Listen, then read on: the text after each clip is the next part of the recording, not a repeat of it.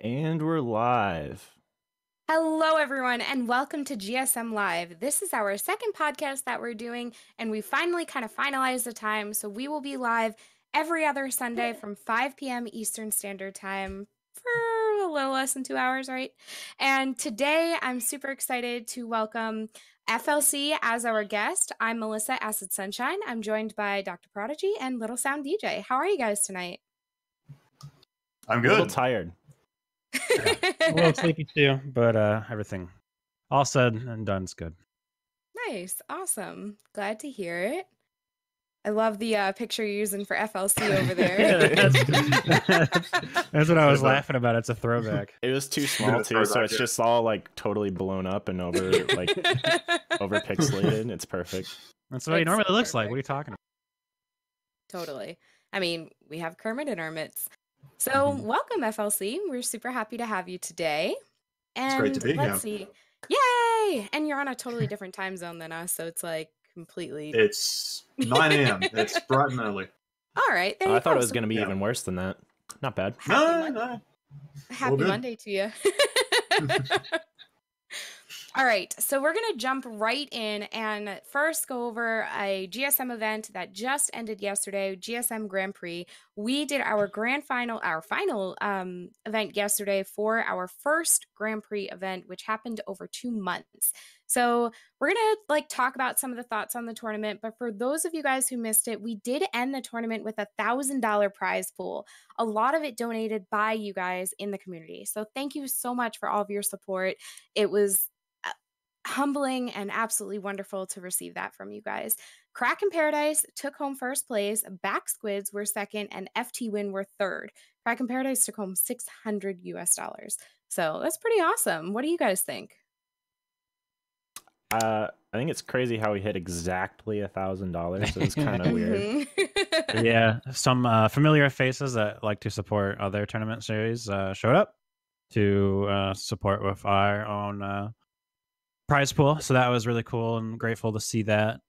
Um, I think hopefully the next one we'll be able to even get some more. So that'd be pretty pretty fortunate. I think yeah. Uh, we'll, we'll we'll get into it later, but I think um, there was a lot of positive feedback about it, so I'm I'm I'm hopeful for that. Totally. Yeah, I mean, I kind of. I think I kind of forgot about the finals up until like it was already happening, and I just saw all the all the fireworks on Twitter about it, and then yeah, the um, I it's actually amazing to me that just how much uh, generosity there is in the in the community to raise these prize pools. I know, um, like it- it's sort of become a bit of a thing where we're sort of crowdfunding crowdfunding these prize pools, and it's really good to see. Yeah. DJ, you were there yesterday. How do you feel about it? Uh, I'm just glad it didn't crash and burn. Honestly. I think that's I think that's the reaction whenever there's a big tournament and like the TOs afterwards are just like, thank goodness it didn't explode. well, the one thing is, I was I was sure that the tournament was gonna go fine. I was just like, you, you know, until until Trevor was like, "Hey, I'm gonna do the broadcast." I was like, "Oh crap! Oh crap!" but no, it went it went great. yeah. All right. So jumping right into that, when's our next one? Eh, uh, don't know yet. I mean, we discussed kind of a tentative timeline of the summer, maybe between SNS 5 and between Summer Splat. So it would be, you know, a good amount of time when everybody's off from school to really devote to this kind of event that allows you to compete on multiple days to find your standings within the finals. So it's a little bit of a different system than a lot of other tournaments run on. Yep. I would say the one for sure thing is definitely not till after Beacon. Mm-hmm. And no, we're gonna uh, do we're gonna Yeah, do one no right way. now, starting just right start it up, start it up again, boys. Let's go. Surprise! Oh, no way. Way too much to do for that. uh, speaking of that, what kind of feedback did you want to discuss? You said, you know, Prodigy, you had some really good feedback you want to go over. Yeah, so um, there's a I, the plus one server has kind of been a little bit active recently, mainly 'cause new memes popping up on Twitter. But for those that don't know, plus one is just kind of like a, a server for pickup uh, players. It's like a pickup scrim server of players that typically kind of compete towards uh, the top of the uh, top of the Western scene, basically. and uh, we had most of the teams from Plus One, like their actual teams, competing, and a lot of them had really positive things to say. And I also got a chance to talk to some people um, that were doing well in the series but didn't make top cut. They all had really positive things to say. Um, so I think people really enjoyed the format, which was cool because it was a completely different format. We haven't, the scene hasn't really ever had a chance to try out before. Um, and with the set play, people were kind of against set play at first at the beginning of it because they didn't really understand it. But then as they got a chance to experience it, once we made a little changes here and there, um, I got a lot of positive feedback about the set play as well. And how people said like this is actually kind of I kind of prefer this over like the regular stuff that I normally do. So that was also really really cool to to hear. Um, and it's it's just exciting because like you get it's so easy to get stuck on the road of just like okay best of fives, best of threes, single elim, double elim, done. You know Swiss Swiss pools done. Like all right, tournaments made. Let's let's do this. But if you really put some thought into it and really think about how unique Splatoon is as an experience, and you try to cater to that experience, you can really come up with some pretty cool ideas. So that's it's really satisfying from a from a TO perspective. It was a lot of fun from a player perspective, and I hope that uh, we kind of continue to share this and people get you know more people get a chance to experience what it's like. Fun little anecdote: the idea for set play came off of a conversation between me and FLC back Oh, in yes. Splat One and like the Really? third month yes. of the game. Yeah, I was gonna, I was gonna, I was gonna actually go there because, um, yeah, like this, there were two big things for me in uh, in this tournament, and one of them was the set play. The other one was also like the sort of gradual qualifiers, rather than like just doing a big thing of Swiss groups. Um, but yeah, like I've been wanting to see um, the set play thing literally since before Splatoon One came out. Like it was, uh, I think back then it was, um, I was sort of thinking about how to uh, play off some of the things that Counter Strike Global Offensive, uh, the way that works, where like each round in the game is like 30 rounds in a game in regulation time in a, in a CS:GO match, and so each time you play a round, um, you have to adapt to what the other team is doing as you're going, and one thing I thought that Splatoon 2 could really benefit from even back then was oh Splatoon 1, sorry, not Splatoon 2, but still Splatoon 2, um, was if you could have that kind of thing where you've you play against a team on smart zones and then like they bring out some comp that you weren't prepared for and then like but it's okay because you're in a set you can actually switch and adapt to what they're doing and then they have a chance to do the same back. Um, but yeah so like seeing that like obviously this isn't the first time the gsm's used that's the the set play format. I think he used it for some of the lands as well. Right. um, This is the first time they were counterpicking modes and maps on it. Right. Yeah. yeah, So that was like it, it- it's it's just really good to see that like people are um, taking to it and like actually starting to plan out like okay here's what we do if we lose the first game kind of thing. Um, and yeah, the second thing, the the other thing that I wanted to bring up was the the qualifiers. I think are really because uh, Prodigy, you mentioned the um the like Swiss groups, for example, going into into a knockout bracket.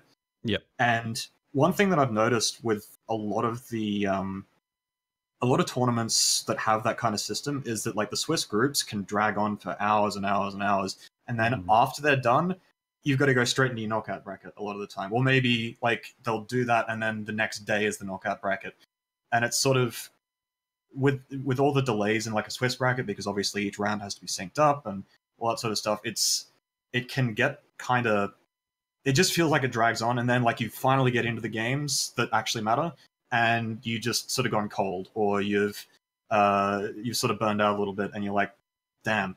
Um and then then you sort of feel like you could have done a whole lot better but you didn't. But then with this you've got the the early qualifiers like beforehand that you know you you qualify and get into the top cut and then you can prepare for the top cut like over a, over a couple of weeks. So that was something I really, really like to see, and I think uh, most of the I think the teams in, in this tournament really benefited from it.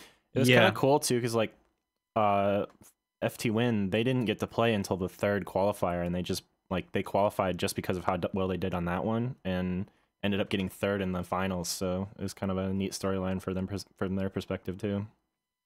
Yeah, I agree. And then the only other thing I would add is that we still had to try to for the qualifiers, we still had to use the you know Swiss into a top cut, but we tried to limit it after we kind of we kind of adapted from the first one and we went to a playoff three, which is similar to BNS. BNS does playoff four. We originally wanted to do playoff four, but honestly, after kind of playing in the playoff three, I felt like that was actually a better experience because of how fast we got through the Swiss groups and got to, and also because our top cut is a top 16 rather than a top eight. At least that's how we formatted it this time. So I still felt like teams got a chance to play quite a quite a bunch while not while also not dragging it out dragging it out a lot. Um, you know, it was I think every tournament for the qualifiers was like five and a half hours or less max, which isn't bad on a, on a Saturday for how many teams are playing. Yeah, the first one So- went a little longer because of that initial delay, but um, Right, we had we had some Smash 3G. uh, the, the second and third were flawless as a tournament. Um, Literally flawless, very unbiased. yes, very, very unbiased. I, Um, I give Future the credit for that anyways, so who cares? Future Future did a ton of work for us. Thank you very much, Future. Um, and then some of the, I guess, I get negative feedback that we've kind of taken in into account that we're going to address for the ones upcoming. Um, mainly, some of the stuff is like um, we actually made we actually already made the adaptation, but adding the counter picking of the mode. Originally, when it had had set it set up, um, we decided the modes for each round for set play but it was suggested that you should be able to counterpick the mode if you if you and if you lose the first one. So we just made splat zones the first mode. Team that lost splat zones got to counterpick the mode. Um, we still made it so um, the first map was determined for each mode, so that way you couldn't counterpick the mode and the map because we felt like that might be too big of an advantage. Uh, kind of transitioning from one one mode to the next. Um, so I think it just goes to show that like you know we're we're still willing to listen to what people have to say and how we can make this better because ultimately that's what we care about. Yeah, I think the other big feedback thing that we were told was that the graphics just like weren't jiving, they weren't looking as good. So that's totally on me. I'm going to take all that feedback in. If you guys have anything specific that you want to see, you know, I'm I'm going to revise it, work on it, and we'll just have like a really better, more solid system working for the next time we run it. Yeah, considering this was like a, a first run through this kind of format and all that, I I think if the worst thing that people had to say was the graphics weren't uh, quite as good as they were hoping, then that's a pretty good sign, I think. And this was the first time I've done like a full graphics package for something like this because I did Summer Splat, but Trevor helped so much with that. This was mostly like, hey, here's what it should look like. Go. And I was like, oh. so, you know, I have a little bit stronger of a handle on it now. Um, and then the other thing that we kind of skipped over a little bit is that uh, Kbot, with the help of some other people, made a really fantastic uh, data sheet for the the. film. Um, I'm trying to get a link friendly version of it because we have we have the Google have like the, the Google Docs drive, but there's also a tiny URL, but you can't copy and paste the tiny URL from the Google sheet. So I'm gonna ask him to get the tiny URL for Uh-oh. it real quick. But we're gonna You can't? it won't let me copy and paste it. I can't. I can't select it. Anyway, I'm gonna ping him and be like, "Hey, give me the give me the, the link friendly version of it," and we're gonna share that in the chat. But he did that with the help with, um, uh, I think Gambit Wumi. I, yeah, I, think- can never I can never pronounce her name. I'm so sorry, but Gam- Gambit Wumi, who has done fantastic work, uh, collecting massive amounts of data from the Japanese tournaments. So big props to them because we didn't even ask them; they just did it. Kbot tried to post it in chat Oh. and then got destroyed. Got destroyed. Get wrecked. Wait, how do I type your name? Yeah, so I guess like if we want to, do we want to actually like talk about the how people were counterpicking, or is that Yeah, uh, the thing that the biggest thing that I pulled from it is at least for the last like that last day like um there wasn't a mode that was like far and ahead more picked than the others. Like Clam Blitz had a little less than the others, but but not as um, much but as not I s- would have thought. not like way less. So it was pretty Yeah. interesting. It is also interesting because you got to take into account what teams made it the furthest, right? Because um, back squids, I think they always counterpicked tower control, right? Yeah. Uh, let's see. So yeah, they had they had a fifty four percent win rate in tower control. I'm not sure if you traded if you traded back squids for ghost and placements, I think Clam Blitz would have tr- essentially traded with it because Right. because Ghost was counter picking Clam Blitz. I think every time too. and- and Backsquids was kind of picking tower control. So um, it's really interesting to see kind of those fluctuations. Um, interestingly, Rainmaker, the, one of the modes that people love to hate on, was kind of higher up. So there's also interesting to see that. And you can't even say that's about Deep Blues because we only played two Blame matches and we lost. Marsh. So you can't even you can't even blame us for that. There's other teams counter picking Rainmaker too. I think FTW is picking it a lot too. mhm. hmm So Yeah. um, it's interesting to see. Yeah, I think the most interesting thing for me is um, just the way the way I'm expecting this this kind of counterpicking thing to to evolve as teams sort of make their strategies a bit, strategies a bit more fine grained. Is that uh, at the moment you mentioned the the counterpicks thing, and I, if I look at this this sheet here, it looks like the counterpicks on the modes are fairly good. Like you've got back squids, FT win, and ghost all over fifty percent. Like they picked a mode that they knew that they could do better on. Mhm. Um, but the map counter picks seem to be more like comfort picks.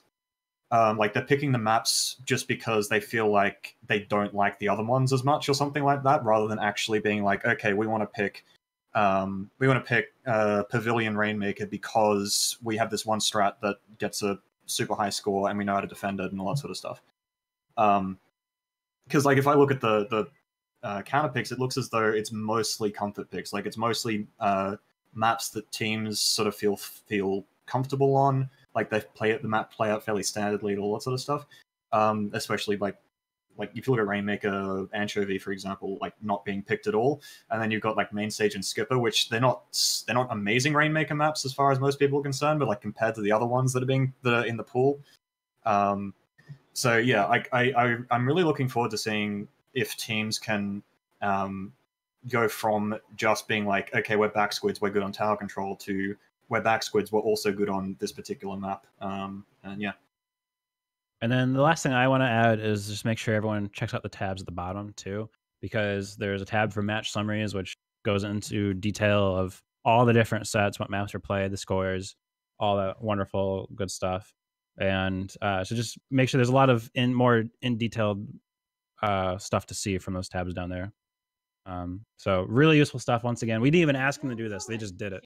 So Yeah, thank you, thank you pretty so much, everyone. That was Also, for the record, as a, since I was a player, I did not make the map list. Just want to, I just since I was a player in the I- tournament, I did not touch the map that list. that is on me. I did the map list. I I took I did input from you know most of the GSM staff, but I was the one who who picked it. So blame me if you didn't like it.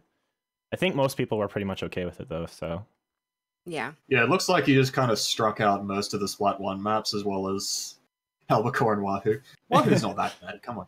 Um, so I, mean, I you've got I a didn't hate on start Wahoo. there. I was I was trying to limit it to like what I thought were the best of the best for certain game types, and then like without trying to like, and and also trying to make some overlap happen. So like you know each one showed up as two different modes, so it wasn't just like a one off and you never got to touch it again kind of thing. But yeah, there's definitely some changes I'll probably make for the future, but um, I'm overall kind of happy with how the map list played out over the course of the whole time, whole Grand Prix, not even just the finals.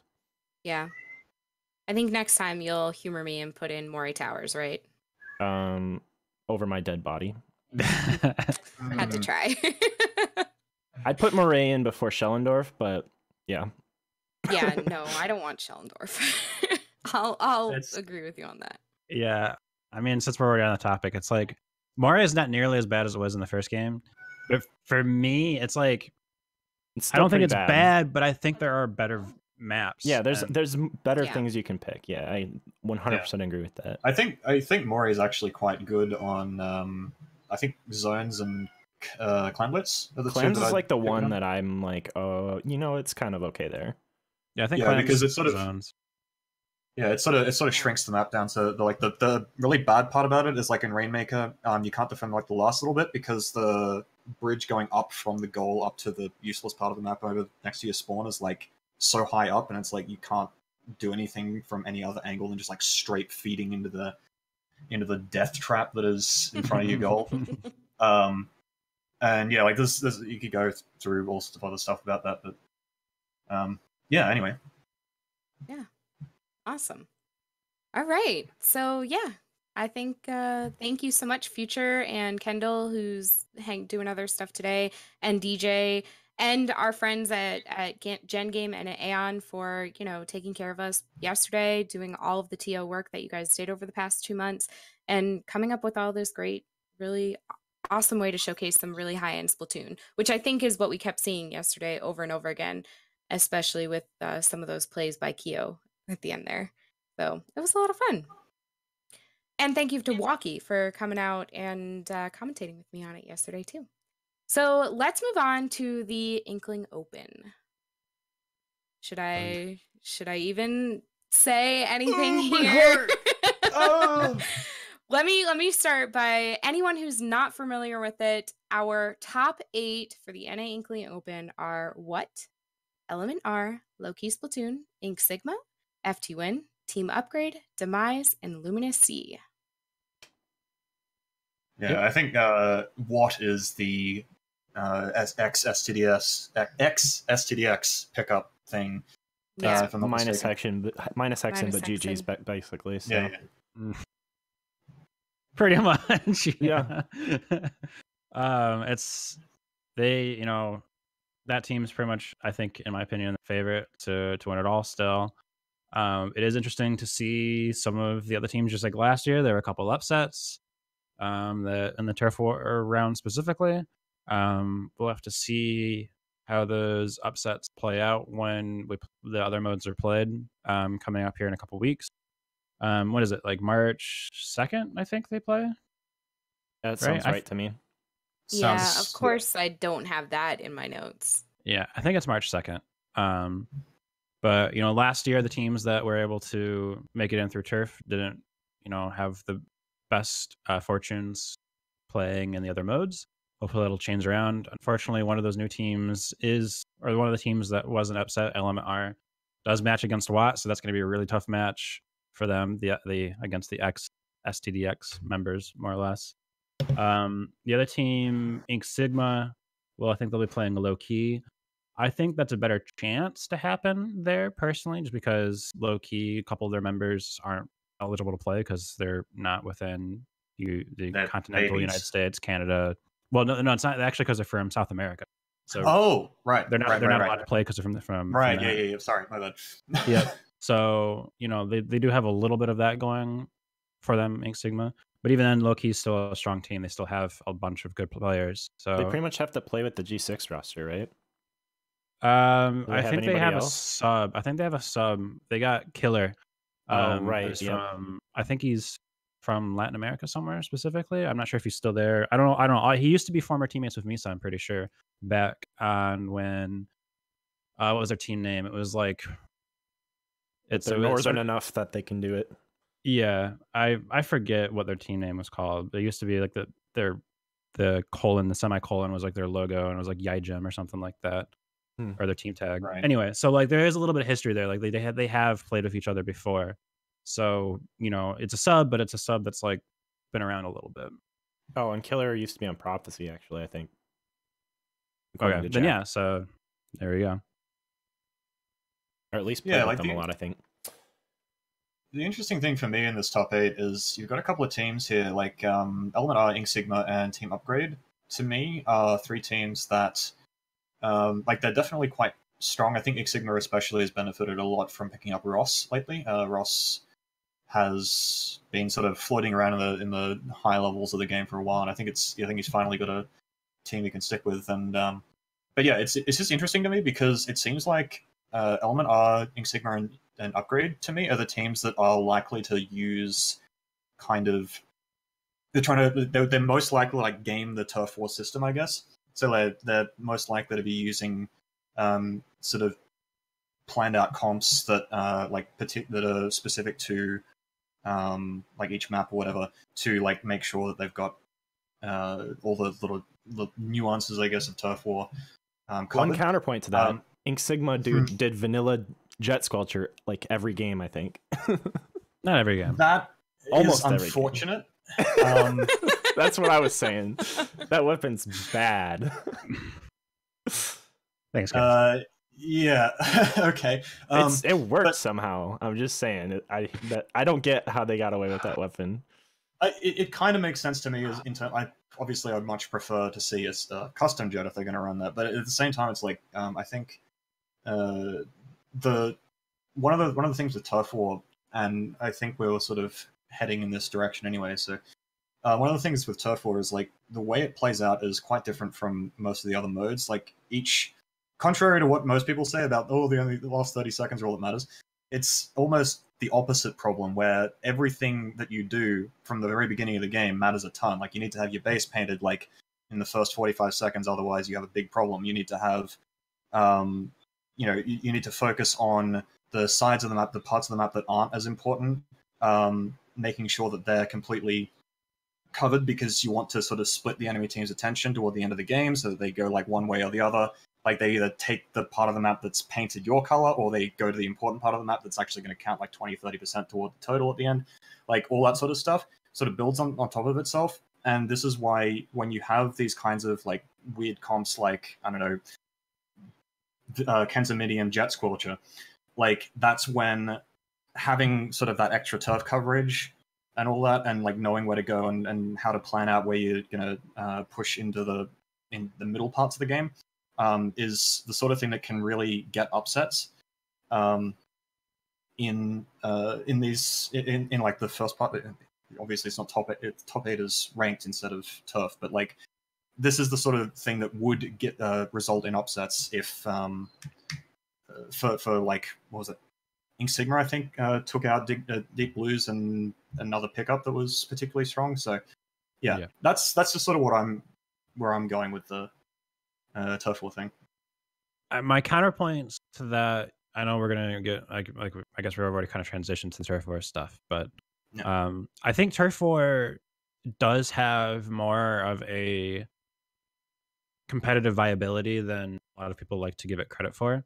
Um and i think actually from this latest round of us open i think there's been actually a little bit of a shift in some of the top players kind of saying that actually maybe turf war isn't that bad at least publicly saying that. Privately a lot of them would say like turf war really isn't that bad but they still don't want to play it. Um for me personally as a as a player it's one of those things where it's like ultimately yeah the last 30 seconds do matter the most but as i also said like there is a lot more that goes into it. It's just that it's one of those things where it's like if you really do wipe in the last 30 seconds it's like nine times out of ten unless you have like everything else completely covered you're pretty much gonna gonna lose. It's it's it's very very very difficult. And it, and so from a balance standpoint that just doesn't seem that much fun but at the same time it's not like there's other weaknesses in other modes. Like there's the gg ray as people call it and like tower control. There's nothing more boring than seeing a team who's about to make a comeback in the last 10 seconds of the game have to just wipe because they have to stack on top of the tower while the other team that's winning just uses a ray from base and they're completely safe. Like there's there are other weaknesses in other modes. Let's let's be real here. So it's one of those things that I'm not, I wouldn't necessarily be opposed if there was like more tournaments that involved turf war, but at the same time, I still don't think it's the most balanced. And even for example, as we're talking about Ink Sigma, I saw them some of them tweet saying like, "Oh, we didn't even like practice for this. Like, way to go us." It's like, well, well, yeah, that does maybe perhaps show how well they did perform. That might also show how maybe the mode isn't the most balanced. So, you know, I don't have a lot of research or data or numbers to like back all this up, of course, but it's just some some food for thought. I think one of the easiest ways to kind of mention that research and data that you're talking about is looking at Splatfest weekends because when you don't have these other modes that you have available to play, top players who would normally be ranked are forced to play Turf War if they want to play Splatoon. So now you have this like totally different shift in dynamic because people are focusing more on the the objectives and on getting the splats that they need instead of actually playing Turf War, which is just like covering the ground in ink. So I think that just looking at that, how so many people are very frustrated playing that during the Splatfest weekend, and also looking at the teams that play it and succeed over and over again. And now we can see that so much easier when you go into the lobby and you see, you know, so and so won it 10 times or won 100 times. And, you know, you're con- constantly seeing those same names. So you begin to look at this as, okay, well, you know, it that's like one way to kind of showcase a little bit of the competitive nature when you have no other option of what to play. Mhm. I could also look at Japanese tournaments too. Like, Yep. Dynamon's won three out of four Koshiens so far, something like that. Something like that. I think he's won all the one. most Yeah. consistent player I've ever seen, And- and, he and maybe plays in the war in game, all these tournaments. Yeah, like He like his consistency goes back to spot One as well. Like I think Yeah. he was winning Yeah. Koshiens in Splat One. Yeah. I think he won the first one, the third one, and the fourth one, if I'm not mistaken. Um, but somebody can correct me if I'm wrong there. But yeah, Yeah, I think Yeah. I, think think, if there- he there's lost the second one, definitely- it would have been yeah. Like, Yeah, it's- sorry, it- go ahead. it would be a mistake to say that there's no skill in turf war. Like I'm I'll, even I'll admit that there's there's skill to turf war, but like, all right, I feel like I might go on a rant here, but I'm gonna try and rein it in a little. Um, the the benefits are t- of turf war are not so glaringly huge that it outweighs the negatives as far as you know it puts so much like it basically puts so much emphasis on one mistake that if you make one mistake and lose the game even though you played the first like if even if it's not in the last 30 seconds you made- the mistake early or something like that and then you went even in the last 30 seconds. It's like one mistake decides the game in turf war more often than the other modes by a huge margin in my opinion um Do you think that that would be fixed if you added the extra two minutes to the clock? no You If think that anything, that that's would make that just the way worse. it is? It would make it Yeah. worse. It's just Yeah, by it would make- design that the mode just can't like there's no way to fix it without changing the way the mode works, I think. I okay, so I'm DJ and I have been arguing the final final points of turf war literally since before Splatoon one. Again, shout out to Squidboards. Um, Oh man, the Squidboards The- days. so my so like the, the the the whole like losing at the very end thing i think is only it's only so obvious because the timer is the only way the, the game ends if you go back to like clam blitz right if you screw up on clam blitz and wipe like we were talking about like, Moray before and someone actually said that if you screw up on Moray clam blitz you instantly lose. Um like it's a hundred to zero knockout just so quickly just because like the clam the basket is right there spawn camp super easy uh, clams all over the place next to the basket all that sort of stuff all contributes to basically if you make one big mistake in clam blitz on moray you lose.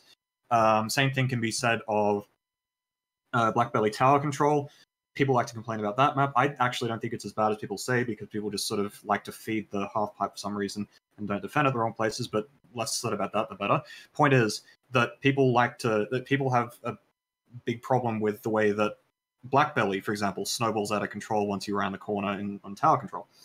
Uh, uh, Kelp Dome TC obviously had a big rework on tower control because of how snowbally the end of it was. Like, there's all sorts of all sorts of stuff along those lines where each mode, aside from Splat Zones, but Splat Zones is a bit different because it's sort of like it's more about how well you can cheese it rather than how like one Hmm. mistake screwing you over. Um, but all these modes have ways to just instantly lose, right?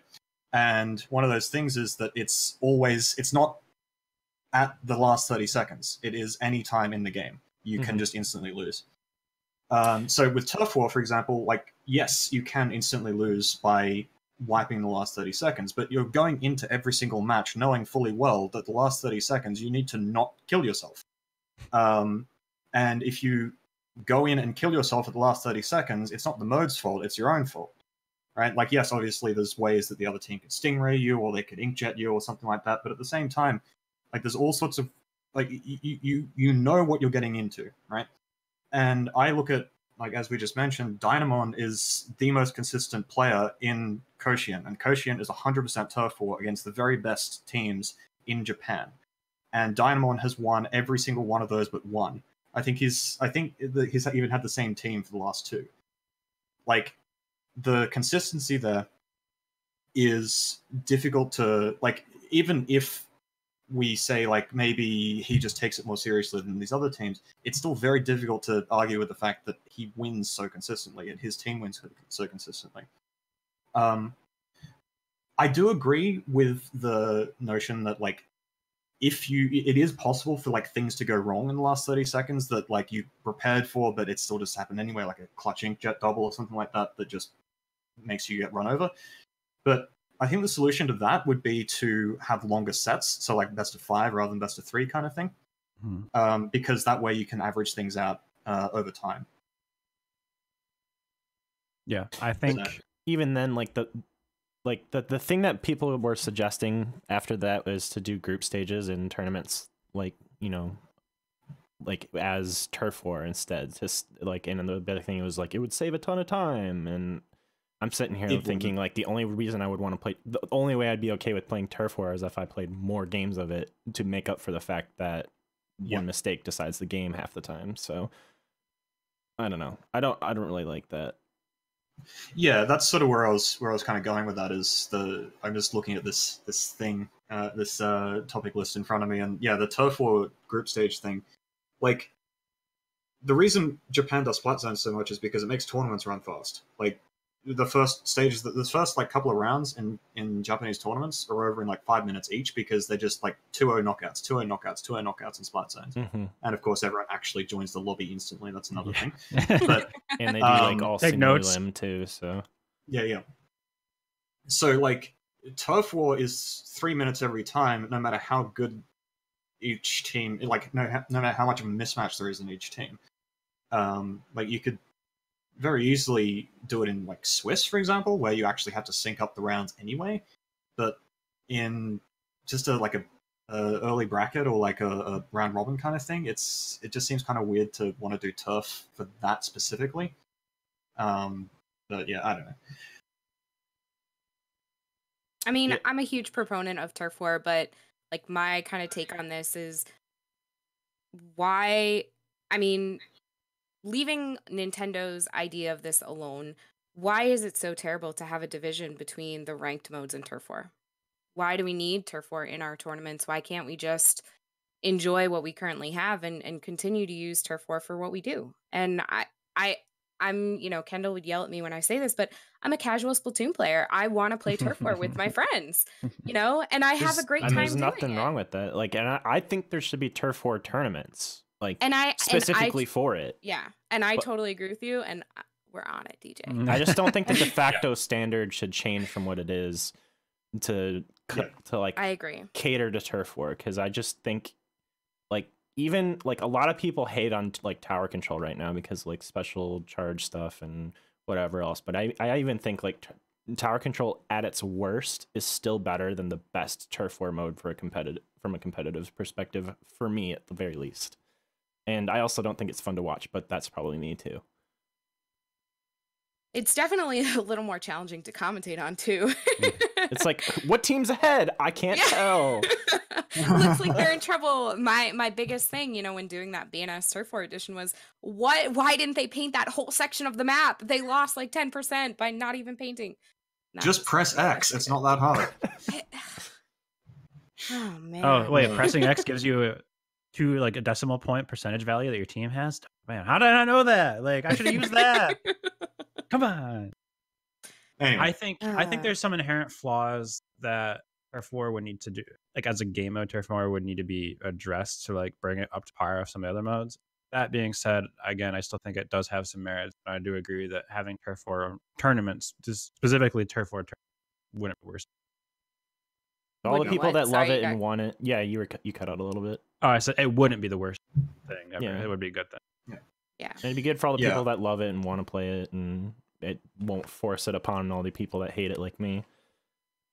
yeah. and I think like because my my perspective on it is like I had to bloody stu- study the all the details on turf war for the Australian uh, version of the um, Inkling Open last year, and pretty much by the end of it, I was like, I still don't like turf war.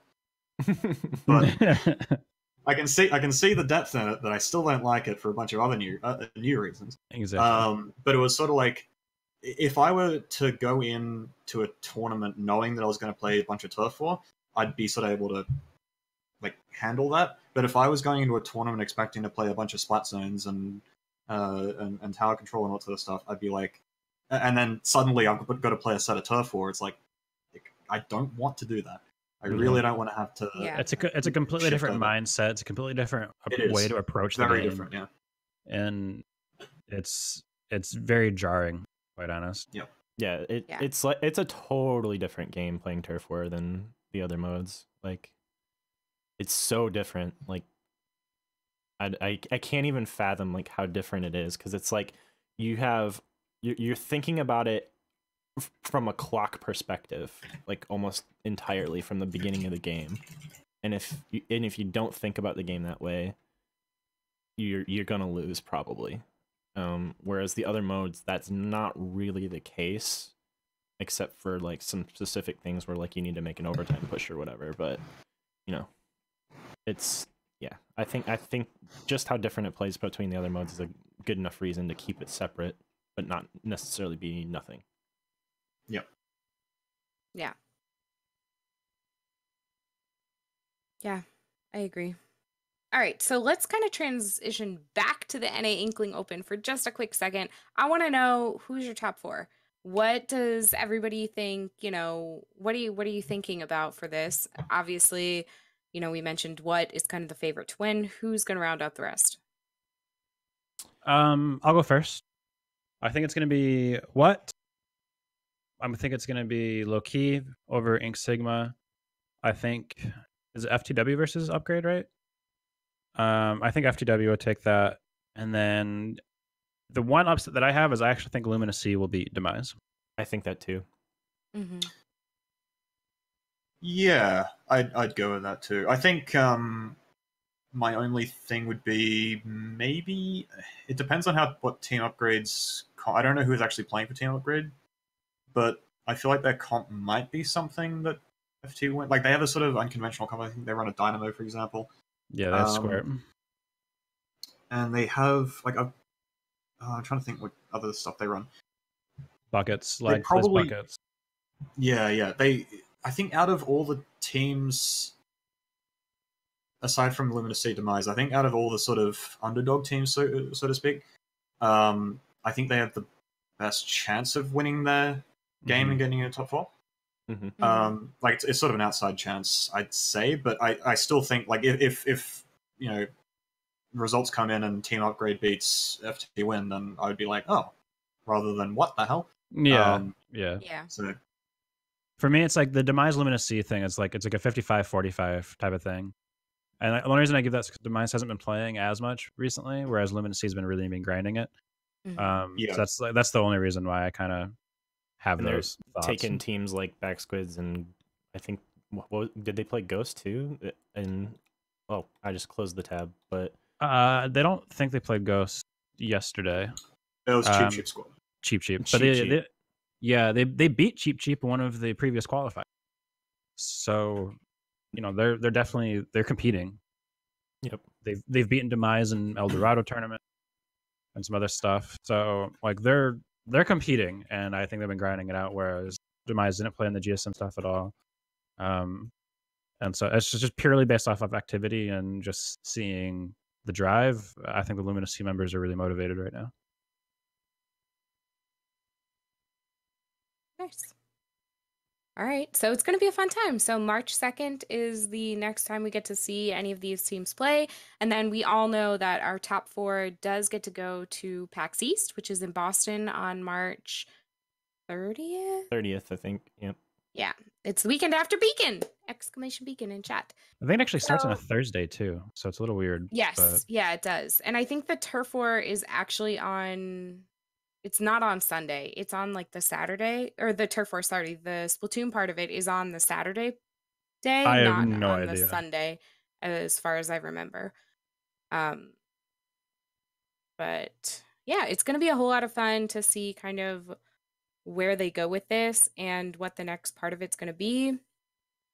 And you know, we all get to cheer on our our good friends playing in this. Mhm. So the next topic I want to transition onto is talking about Nintendo's actual involvement with esports. Mm. So kind of Kendall had kind of come up with a lot of these topics and he couldn't be here for family reasons today, but his kind of bold question was does Nintendo need to care more about esports? So, is the open enough? Is there a need for Nintendo back to back Splatoon as an esport? And how can this directly affect us in the West? Because obviously, we know that Nintendo has a little bit more um, input in what happens in Japan. Uh, do you think Nintendo will change their mindset? And kind of what what are your thoughts on this type of thing? I do have like something that relates to this that I'm going to bring up in a little while, but not quite yet. Um, if it, it really depends on what Nintendo wants, because if they want Splatoon to grow, then yes, I think they need to do more. But if they're happy with just selling the games every time they come up with a new one and whatever DLC they come out with, I don't think they really need to do anything. But as far as the competitive scene goes, um, short of Splatoon 3, I don't see us growing like significantly bigger than we are now. Like we could grow a little bit over time, but you know, it it it, it takes some sort of some something crazy for us to be like to grow into like a smash level esport without without Nintendo's help. Yeah, Yeah, I kind of have similar thoughts about that. It's you know we, we can we can certainly do it without Nintendo. Like we can continue to survive without Nintendo. But if we really wanted to like really take that next big step, whether it's Nintendo or some other org like an MG type of thing, that um that really is able to invest a serious amount of uh, straight up funding, it's probably not. It's it's just too difficult. Like everyone that does this stuff has other jobs that they do, right? Like no one's able to like fully Nobody does commit. Splatoon full time except for like a couple players. Yeah, and even then, it's like they're they're streamers. They're not like tournament Yeah. organizers. They're not going out there looking for investment or funding because like that's not, you know, that's not how they're gonna survive. So you know they they have they have other stuff to do. So it's one of those things where it's like, I really really really wish Nintendo would or somebody, um, but I I don't see it happening. Like this, I think this year was their chance. Like Splatoon two's been doing like super well um, all across the world, and they just, if anything, they might have even potentially downgraded it. Like now, now we, they haven't confirmed an E3 thing yet. Maybe that's still happening. We don't know. But at least here in NA now, it's actually like PAX, and, and now it's four teams instead of one, so that's still really cool. But But the prestige is lower. pres- pres- yeah, exactly. The prestige arguably is a little bit lower. So it's like, at the very best, the only thing I would settle for is it's the same. Certainly not an improvement. So, you know, that's But we don't know, like in terms of that. We're, like you said, they haven't confirmed anything. We don't know. They could still do something at E3 that could be a world championship. Yeah, Right. At this point, at this point last year, they hadn't announced anything. I remember that because the Australian tournament was like, I think I, I think Gabe can, Gabe's in chat. He can uh, correct me if I'm wrong, but I'm pretty sure the E3 tournament was like announced almost the same time as the Australian finals. Like we didn't know that the qualifiers for the Australian finals were, got, like we didn't know during the qualifiers. I think we might have known at the qualifiers. Okay. Um, so the qualifiers were at the end of March last year. So there's a fairly sizable um, chance that we don't even know anything about an E3 tournament until like the end of March. Yeah. Um, so like there's no and if and if that's the case if there is actually a tournament at e3 it means that they're almost expanding the support because that means that there's actual in-person event for the na qualifiers instead of um, Yeah, just flying out one team yeah Yeah. So Um, like I, I would love to eat my words. I really, really would love to eat eat my own. words. That's just uh, from what we've seen so far. Yeah. Um, so my my take on the Nintendo esports thing is kind of it's it's kind of difficult because one thing that I think with esports is a big problem that the, the Splatoon community needs to avoid is the idea of I guess uh, I don't want to use the word toxic, um, but like uh, investment that we rely too much on. So Mhm. an example would be uh, let's say Nintendo pulls a Blizzard and throws like twenty million dollars at Splatoon. That investment just completely. I know. It's just you me. almost made me spit out my water. Sorry. All right, continue. I'm glad, but yeah, y- y- you know what I'm saying there, right? Like if you if if Nintendo throws a whole bunch of money at Splatoon, and we don't have anything to sort of match that, uh, like anything on the same order of magnitude to even match that, then what happens is we become dependent on the Nintendo Nintendo's investment, right? Yep. Same thing is true of third-party investors as well. This is why I'm not particularly fond of seeing teams get signed by random orgs because they Mhm. don't do anything. When Ghost comes in and sponsors uh, and sorry signs, uh, you know, Dude Sendao, Soren, Urza, and Brian, it's like they're getting three, four very popular streamers, all that sort of stuff. They're supporting them. There's a bit of to and fro in that. Both But sides if- are getting something out of that. Yeah. Yes. So it's an actual beneficial kind of cooperation going on. Whereas if some organization comes out of nowhere and just throws ten, you know, a couple of hundred thousand dollars or something at, at Splatoon, it, like we suddenly are completely dependent on that investment, and then they can like say, well, we'll just pull that investment if we do anything that they don't like. Mhm. Um, now, I don't think Nintendo would act in bad faith toward their own game, but at the same time, if Nintendo just decides to pull the plug at some point, maybe next year, maybe two years down the track, three years, whatever, then if we've been relying on that investment, that's a problem uh, Yep. because suddenly everything just comes to a halt. Um, Or they So- demand that every competitive tournament is turf war only. Yeah, that's the other sort of thing. Like because Nintendo, from what I understand, Nintendo is actually, especially with Smash, they're doing like a lot of behind the scenes stuff. So like they're showing up, there's, they're sending representatives. I think out to G6. I remember there was talk about like Nintendo reps out there saying, "Hey, here's the, you know, here are your Splatoon, here are your not Splatoon, your Smash setups. Um, we'll help you sort of run things in terms of like keeping track of the hardware, all that sort of stuff."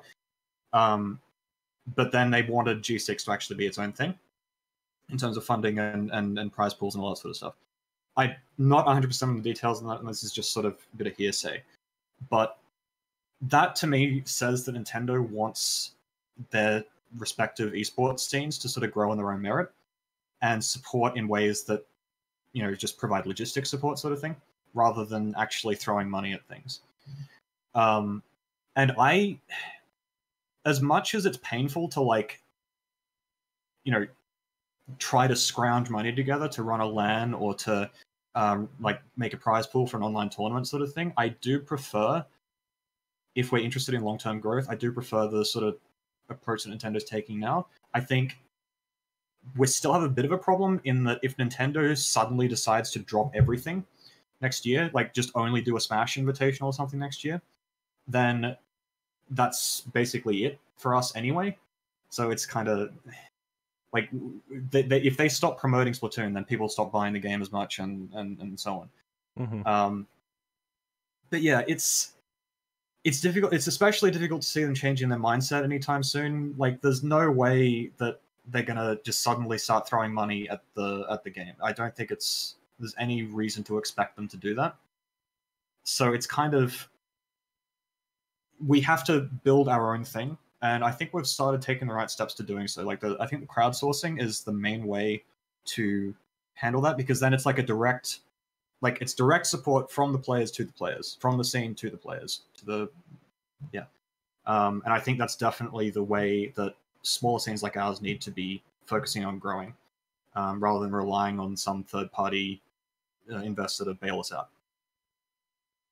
I think I- it also that that kind of branching off what you said, reliant and how we become we I think if we had an investor like that, we can become used to it. That would begin to set the standard. And then when the next event doesn't have that money behind it or doesn't have that investor behind it, everybody doesn't want to go because they feel like it's not worth it anymore. So I think Mhm. that's also the other part to it that, you know, gets very dangerous if someone with that much money decides to come in. Sorry, I cut you off, DJ. No, you're good. Um, I I would say the money thing I agree with, but that's only when it gets past a certain amount of money, where it's like, you know, there's Yes, no way yeah. we could raise that otherwise or get that Yeah, in some I- other way. I, I specifically said like a an order of magnitude kind of problem where like if we there's no way to match it hmm and that's yeah but yeah go on But yeah, like the the like, I definitely think Nintendo could do more to help things move along a little better. Like, there's no reason, there's no real tangible reason that they couldn't tweet out about you know, hey, there's BNS this week. Like, you know, Yeah. if you have a Yeah. team and you like Splatoon and you like you know tower control whatever mode it is that week go sign up then we'd immediately get like 400 teams signing up for BS, bns every week like Mm-hmm. they don't do that kind of stuff like they've helped pu- publicize a couple LANs here and there but even that's kind of hard to get them to do um like i know that from experience. And like they definitely could be more forthcoming with doing that kind of stuff or like even little things like lending docks. I know they got like probably a warehouse full of docks that they could give out to events and we'd have to like it would help out immensely if we didn't have to rely on people bringing docks and that kind of stuff. Um you know there, there's tangible ways that they could help that they currently like sort of do but don't really do. And you know if if they did more of that it, the scene would grow way faster than it does right now. Like i think the biggest problem splatoon especially in the west has is the general public doesn't really understand that there's something that happens. Like that there there's a competitive or esports scene to the game. Like Mm-hmm. people just don't know Completely. that that's a thing like yes. Yeah. and Yep. without nintendo's help on that like it's really on you know every individual like unless unless everybody in the community s- s- like started vote brigading every competitive post on reddit and facebook and you know like there's no way for us to break that barrier quickly so yeah i guess that's what that's the point i was trying to get to Yeah. Yeah, I I can definitely agree with that. Like I what I guess my take on that would be I completely agree with that. The social the social media stuff like that is exactly what Nintendo should be doing. You know, if they actually are committed to the idea of growing a grassroots scene that can sustain itself, then that is the sort of thing that they can and should be doing to kind of um, get the word out there because they're all like all the kinds of people who like Nintendo versus uh, would reach are actual like pl- uh, people who are interested in Splatoon, casual players who want to get involved. Mhm. Um, so it is actual; they are grassroots people uh, in, a, in a sense. Um, so yeah, I, I definitely think that Nintendo. I agree that Nintendo should be doing that. I like even just like something bigger, like um like if we had like one big tournament like, you know, an SNS or whatever and and Nintendo put that in the news channel on the on the Switch, like click here to find out more info if you want to go to SNS. Like just imagine like the response you'd get from that for Yeah, a tournament but that I we think do.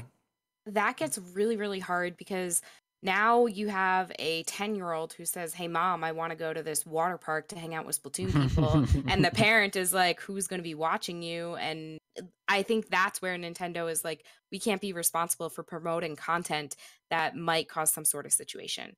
And i i think that's the legal part of it that it's not that they don't want to because i'm sure they look at this and they get excited that so many of us are creating these events for their scene but i think it's just the worry of how do we handle this legally if something were to arise and we're the ones who now push this on this child to to handle this you know I don't know. I, I don't see how they're liable for any sort of like awareness thing. You know what I mean? The the thing that I would see Uh, them being against the is like moment you know we don't have control over it. It's RIP, but we don't have control over that event, so we don't want to promote it on our platform without express control. You know what I mean? Like I think Yeah, it's more about that and less about ten year olds asking their parents to go. Like the parents like it- Nintendo, the parents at that Nintendo, yeah Nintendo I- dots every I and crosses every T in terms of like Hmm. liability when it comes to kids. Like if you've looked at any of the, I, I think Pokemon VGC is the place to look for that to see just how how many hoops they go through um to to make like just that tournament work.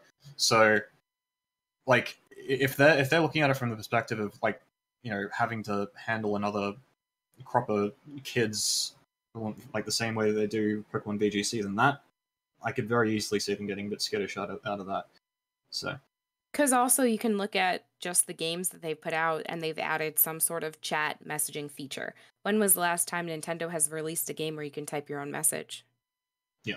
Never. Splatoon 2. So Technically, you can type your own the Me- message like the to- Miiverse Technically. thing. Okay, Miiverse, but that's totally different. That's like Miiverse because we had that with Wii U too. I mean, where you can literally reach to someone you are playing with or you know, whatever you're talking about, directly say something to them. They are pre pre-typed out messages, you know, taunts, I'm using tilt controls, whatever you want to call it, that that's always what they're going to do because you know, you're holding up your phone. Let me let me pull up my Nintendo Switch online app and uh, add you to private battle so I can talk to you. For One second, I gotta let me let me just do this real quick. And and how long did they actually take to like get that out there? And have you actually tried the service with voice chat? Oh, you did no, of course I- It's horrible. It, it disconnects it's and it bad. drops every 10 seconds. I mean, I actually met like a whole group of friends on it last year when I started playing Splatoon. You know, it it's that was like my first discussion with these people. And yeah, it was it was just absolutely terrible when finally I was like, "Hey, this is my Discord. Just add me on there. It's so much easier." And I think that, you know, Nintendo all over their app too, they talk about their legal how they have no control over what anyone says to people. You know, you can block people, you can choose to turn off voice. All of these things that they're trying to give this opportunity for parents to say, "Hey, I don't want my kid talking with people." And and the majority of us within this competitive scene are not children, but you know, like children like under 12, but I'm just saying that we really need to look at it from the legal point of view and I think that's the ma- the major thought of where Nintendo's looking at it. And this is also something I've discussed. My brother's a lawyer, intellectual property, works in New York City. And this is something that he and I have discussed ad nauseum about entertainment law and how Nintendo just doesn't have the the patience to have to deal with something if there were to be some kind of issue here. And mm. I, I Yeah, 'cause honestly think that's what it is.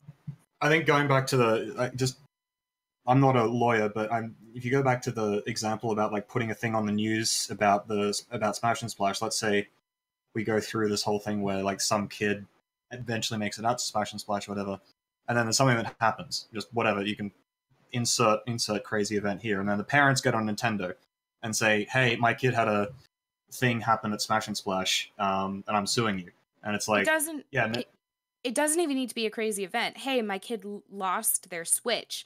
Can you give him all of his save data back? Yeah. Sorry. and it's sort of yeah well that's that's the sort of thing though right is people will lose their minds over anything that happens right and they'll just go straight to nintendo and say nintendo something happened make it right and like Mhm. even if they have no grounds whatsoever to do it at the same time nintendo somehow has to deal with that right and that's sort of uh, i think what ends up what ends up happening a lot of the time um it's the or, uh, it's go ahead. no no I, I was i was i was done It's the caution this cup contains hot contents that are hot. And you spill your coffee and you sue McDonald's. I mean, I don't know. like I, I look at other games out there, like non Nintendo stuff, and I don't see anybody that takes those, like, is so scared of dealing with the public that they can't promote, can't promote their own community. Like, but that's sorry. that's just crazy to me. It's like I- absolutely crazy to me that that that's the way Nintendo like, like who because because i'm saying like nintendo's specific target audience are the younger generation so they are the ones that that's where they have to worry about the liability with the parents with the children more so. When you look at these other games look at a playstation look at xbox look at the titles that they're promoting i mean it's generally towards an older audience. And that's where nintendo really needs to be careful about what they're doing. I think I think that's the biggest part of it because we can compare Nintendo to any giant company that does video games, but at the end of the day, Nintendo's the only one that's coming out with tons of games on top of each other towards their younger audience. Uh, and Yeah, that's, I mean, record, that's just like my, DJ you know, I, I do agree with DJ. It is kind of ridiculous that they don't. I think it's short sighted That they sighted to think still like don't. that. I no, I agree I- with you guys. I'm just arguing this point that this is like where they're coming from. I wish they would sort of- everything, you know? Yeah, it's it's sort of a devil's advocate thing. Like it's it sucks that Nintendo does this because I'm sure there is some way they could make it work if they if they really wanted to and really tried, but they're not trying. Um, like the the the, the sort of stuff that we're talking about now, I think is what they're thinking about. Like the the kinds of you know we don't want to deal with this kind of liability stuff. And the other thing is, um, I, I suspect to a degree some of the stuff with like Halo, COD, um, Fortnite, whatever the whatever else, all these other tournaments that might happen in in person. Um, like I don't even necessarily know that they do a whole lot of promotion for in person events that are that are like open events. Um, No, online just- tournaments, yes. But the other Yeah. thing is that like these these these games, they can just point to the rating classification and say it's you know. 17 plus or 15 plus or whatever like your Well, kid is 12 Any live right? event, Yeah. they could just be like, you must be 16 plus to click this link. Yeah. Like, why? Why is Yeah, that and I think- thing? Yeah. And that's what I'm saying. Like, there's there's all sorts of things they could do that they aren't doing, and I agree completely with that. But at the same time, like, if they're trying to be open to like letting kids play in some tournament or other, then it's also like with that comes crazy parents, and with crazy parents comes lots and lots of stupid lawsuits and crazy just phone calls and and just nightmares to deal with. So it's sort of at the very least, like just letting all the third parties handle that is sort of it's okay. The the one thing that I just want to add little real quick is in the case of where at least personally that I have seen um companies directly advertise for events um that company has always been involved with said event too. So in order for, and I think Nintendo would need to get on board with a LAN if the, if if the example of promoting a LAN, I think they would need to be involved in actually planning of the LAN in itself, comfortable enough to actually promote it too. And that that would just be my guess based off of what I've seen. You're cutting out a lot. Uh, I think I'm we got the gist of your. Se- we I think we got the gist of your Yeah, I don't- I don't but think- yeah, I don't we lost anything too. it's just like every like three words, you're just like gone. Okay, I think I was just talking too quiet. But I mean, Yeah. like, the, I mean, that's kind of what they're doing now. But they're like, you know, in order for us to even tweet that your thing exists, like we have to be, you know, yeah, directly involved, and you can't do this, you can't do this, you can't do this. yeah, the, Kind the helicopter parents basically. Yeah. Like- and that's not about liability stuff. That's about them not wanting their IP to be skewed in a way that they don't like. You know what I mean? Yeah, yeah, That that's what Yeah. that's about. They, they they are very controlling on the way that their IP is presented, and you know, like th- like that's the Project M thing. Like they they will not touch something with Project M, it- like even like in the building. You know what I mean? Like Yeah.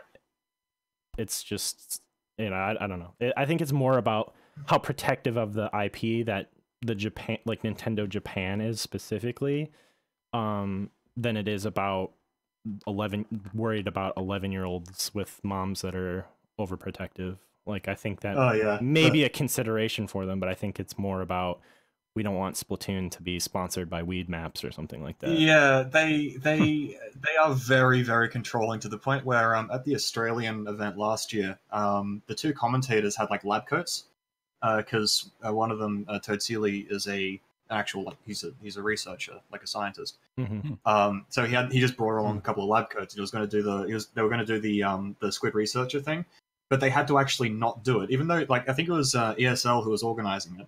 So it wasn't even like Nintendo obviously was was handling it, but it was also like it, they, the the Nintendo Australia people were like, hell yeah, totally do that. That's awesome. And then like half an hour later, they were like, uh, can't let you do that because Nintendo of Japan doesn't like it. So it's sort of like they they won't even let people cosplay as you know squid uh, squid research lab people um, for for a live stream. Like that's how protective they are. So yeah, it's it definitely very very very protective with that um, with the even this even the weird stuff. So Unfortunate. Yeah. Hopefully if they let loose their just a little bit it could grow so much bigger that i We guess that's just the point We just need to meet more people who work for Nintendo and have them come to our side. yeah, Yeah, Let's just do that. Yeah. Why? Why would I think of that before? I'm I'm really good at making friends, I promise. I don't even know if we could that that would even work because I feel like Nintendo Japan like put so much control on Nintendo of America, even like that specifically. It's like they can't do anything without Japan's say so kind of stuff. Like Mhm. like if you know Miyamoto doesn't say okay, they can't you know do anything with Mario or whatever. So yeah, I don't know. That's that's a whole nother topic, but All right, let's move on. Let's hope that somewhere down the line, maybe in the beginning of Splatoon 3, Nintendo decides they want to back our grassroots scene. In the meantime, every org is going to continue to put on really great events that we're super proud of and want you guys to be a part of. So, that being said, let's talk about some of the upcoming tournaments that we have going on here. First thing I want to mention is the Invitational, sponsored by Ink TV. You can find on all the information on Ink TV Splat at their Twitter. And it's going to be on February 23rd and 24th. They're doing a prize pool that starts at $300 with donations during stream, as they do for BNS. And they've invited 16 teams to compete. The first eight have been announced, and they are Ghost Gaming, In Control Splatoon, FT Win, El Firmament, Demise, Polar Ace, Cheap Cheap Squad, and Undecided. And tomorrow they're going to reveal the next top eight. Who are you guys thinking is going to be in this next eight? What are what are your thoughts here? I think we'll see a lot of familiar names. Okay, Prodigy, you can't answer this, I guess. um I mean, Hmm. we're not. We're. I mean, no one's supposed to know. I don't. I don't know everyone that's top, or the Yeah. the not the next. But just guessing based off of what we've seen so far, probably a lot of familiar names. yeah, I mean, I don't know who's in this next eight set, but I would love to see Loki there. You know, I think that they've been playing really, really well. It was a lot of fun to watch them yesterday. Back Squids did a really great job. That would be fun to see them too. So I mean, I'll be surprised if those big names don't make it. It's it's the ones towards like, you know, fifteenth, sixteenth place in place in the eyes of uh Ink TV. Whether like those are the question marks. Like, I'll be surprised if certain ones don't get in, but I'm not gonna make any like major guesses. But you know, I I don't a- a world without low key in that is kind of strange to me. But who knows? Mhm. Yeah, I don't particularly follow like who's doing well in BNS at the moment, so I'm not a whole lot of help. But it, I do notice that, for example, you know, Kraken Paradise isn't on there. Demise, Loki, um, I think yeah, Luminous Sea isn't on Mises, there. I just uh Oh, sorry, Demise is. I had a typo, yeah. I, okay. I uh oh yeah, yeah, there they're. Okay. Um yeah, so like there's a bunch of teams that are definitely going to fill out the first four of that last eight. Um, in terms of the other teams, like I wouldn't be surprised if, say, I don't know, maybe Ink Sigma gets a spot just because they've made uh, top eight at the um, NA event. Um, I wouldn't be surprised. Like, there's there, there might be a couple of I I think what was it Element R and Team Upgrade as well could could squeeze in there just for again the same reason. So um, yeah, I'm I'm definitely looking forward to it. Yeah. I- I guess it depends on- How long ago these teams were invited, though, too. Yeah, I think that's the true. teams That have is true. known for a while that they got in. I would imagine. Um, so I think things were probably decided at least. I mean, I don't know this. I don't have no insider info on this. I just assume that I assume that some Right. of these decisions were made at least a couple weeks ago. Like, I would have thought so as well, but at the same time, like I, if that's if the time allowed, then that would be sort of where I'd be looking Mhm. for some extra extra names. Yeah. All right. It's going to be fun to watch no matter what, February 23rd and 24th. So, moving on, we have our first EU invitational that's going to be happening. That the first, sorry, the first sponsored EU invitational. I think this is kind of a major thing that we should talk about here. Sennheiser, is that how you say it? Sennheiser Gaming um, is actually sponsoring an invitational for Splatoon March 16th at 1 p.m. Eastern Standard Time. And it's going to be a really, really fun thing. Eight EU teams, they're doing dual language casting. So it's going to be cast in both French and English. And they're offering up 2,000 to 2,500 euro prize money. So this is kind of huge for our scene. it's huge for EU Mhm. scene.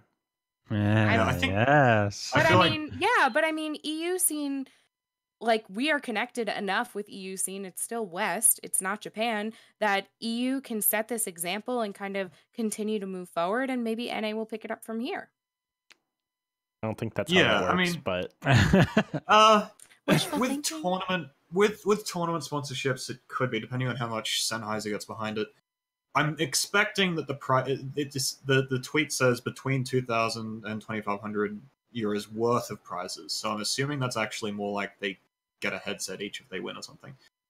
Um, I, I wouldn't be But at the same time- yeah, but at the same time, like this is the sort of thing that like I would be wanting because touching back on what we were talking about earlier with like esports investment and whatnot, this is the sort of thing Mhm. that like is at least getting us started. Like it's this is something that isn't overwhelming our uh, side of things, and yeah, so it's I I, I think like. If they've got a good crop of teams, like they've got, you know, Ghost Gaming and Kraken Paradise and all them, then yeah, this could be like a really good way for. do we know the Um, teams that are playing? no, I don't think so. Hmm. Not yet. I don't think so. no. No, there's still a It month. It just says soon. eight best European teams. So I I do know that some teams have been contacted, but that's the length of my information. All right. And their trailer is very good at not showing any team member names of like players who are coming in. So it's not even like we even have like some hints here. The thing Hmm. I'm worried about with that is it's okay. So the thing about the EU scene versus the NA scene is the NA scene is bigger as a whole, but EU scene probably, at least for right now, they have a lot of the better players. So, like, Hmm. like the gameplay is I'm sure going to be great. It's just if it's so EU focused, like are they going to get less viewers than they want because NA is not going to be interested? Like that that's the kind of thing I'm worried about with doing this EU only kind of thing. Or even if it was like an NA only thing with the same perspective because then you'd be missing out on some of the best teams, some of the most popular teams like Ghost and it's like you know I don't know. I I don't like I'm glad that there's someone kicking down the door on sponsored tournaments for Splatoon. Um, Props to Sennheiser for doing it. I'm just worried about the EU only thing, not because, oh man, I don't get to play, but more so it's just like I, I wonder if because of the way they're doing it, they're gonna get what they want out of it. Yeah, I mean, if they get Ghost Gaming in, then they're going to have, you know, how many hundred dude fans just chilling in the chat talking about how good he is. So that's. It's not even. It's So- not well, even. I mean, seriously, when dude's playing, like viewership jump, jumps up by like hundred to two hundred. I know, like, but specifically the mean mention of dude fan. oh, it killed me. Does do Anyway. dude's fans have a name? Like, I don't know. I don't know if they do. They should. Uh, There's It's, just, gotta- it's so they- funny. it like needs to be. even even on our own own like GSM LANs, like Beacon. It's like dude's team suddenly on, and it's just like, oh yeah, it's dude finally. And then like when he's not playing, it's like, where's dude? It's like, yeah. he great. is the biggest personality in our community right now. I think, but Yeah. Well, at least on Twitch. Uh, I would argue there might be some people that are are on par with him on YouTube, apparently. But the he's- Dude Society, overall- is that what it's called? but The Dude like Society. even then, like, like I feel like those people, like there's some people that are bigger than him on YouTube, but most of those people don't have the that viewership like Yeah, following exactly. him everywhere they go. You know what I mean? I Mhm. think a fair few of those are European as well, aren't they? Yes. Um, I think, yeah. like, isn't wadson pretty big? And Yep. wadson's got a decent following. Anyway, this is kind of a little bit. some- that's a tangent. anyway. That's a whole other tangent. Yeah. I'm sorry. we'll Um, talk about Splatoon YouTube at some other time. so yes. my thoughts on this i think it's really good i think it's really cool that we got like a company like sennheiser that directly relates to an esports type of thing um sponsoring something like this that's really cool um their wording on a tweet makes the pricing sound a little vague so hopefully we get more details about that soon especially since it's kind of coming up relatively soon um less than a month yeah yeah. so hopefully that gets kind of shared. Honestly, the only thing that I don't like about the fact of it being EU only is that when NA tried to do a couple NA only stuff, like Vespers, uh, Ink Force stuff was being like continental United States only. Um, no one from Mexico, no one from Canada, no one from EU. There was a lot of like outcry of just like, wow, I can't believe you would do that. Like we're, you know, a united community. The West is the West. Like, you know, why rah rah rah rah rah. People got people got upset, and like now there's this a big, cool new thing. Sennheiser, a new sponsor that I've never seen before. Cool prizes, EU only, and it's just like cool. It's just it's just kind of accepted. It's just like wait wait wait wait wait a second. Wait a second. How come how come every, everyone else gets to be upset about like a week like a Wednesday night Splat Zones only tournament for US with only no prize as far as I with know. no prizes. Yeah. But now a big a big European thing is announced and everyone's just like sweet. It's like what I don't know. For me, it's I like, think- that's that's a little that's a little crappy, but like all things considered, that's that's not like that's not like Sennheiser's fault, the organizer's fault, or anything like that. I think that's a little bit of like a community kind of like double standard there. Um, obviously things have changed a little bit since Ink Force was around the first time because they've like technically there was like two rounds of Ink Forces. Um, so things have changed a little bit, but I don't know. That's that's just me calling out a little bit of Yeah. hypocrisy. I don't know. It sort of seems like I didn't even know this tournament was a thing, so I wouldn't be surprised if people just don't even know about it in order, I order mean, to. it only got announced what make it two days ago or something like that. yeah. Yeah. So, that was like yeah, recently. Yeah. Yeah. so it might have just flown under the radar, and people haven't gotten to like it, it happened two days ago, right? So it's sort of Yeah. past the statute, the statute of outrage, um, which I believe is about fifteen minutes. And it only it only has like mm, 96 likes, 43 re- retweets, and 1.5k views. So, like in the grand scheme of things, mm, because it's so new, not so many people have gotten their eyes on it just yet. Like who's who who's like doing it? You know what I mean? Like who's organizing? it? Players Players Unity is the organizer. Um, they got a picture of Urza on there, yeah. Wow. and and like one of their So- previous tweets or something like that. So ghost confirmed. Is that what that means? Oh, yeah. Probably. Well, he's, he's he's not wearing a ghost jersey. It's just a picture of. of Yeah, because he was don't even know how modeling for some of their other stuff. Um, Oh yeah, that was like their that was three days ago actually. Mm-hmm. Urza Urza was a medal today. I learned. Yeah. There you go. So, So, yeah, the I fact mean, that like we don't know who's organizing it. Like there's as far as we know, there's no pedigree there unless you know it's like I guess I, I imagine like if it's anybody in EU, it's probably like leans involved or something like that. But Right. Or the or the esports bros, right? yeah, yeah, or it- it might be P- esports potentially because but esports bros are are they French specifically? I, I can't remember. I think yeah, they're French. so. Yes. Potentially them, but yeah. But yeah, it Yeah. sou- it sounds like I I don't know. There's a lot of question marks there. Yeah. Um, it'll be fun to watch and a good thing to tune into. You know, it's it sounds like it could be a really fun day.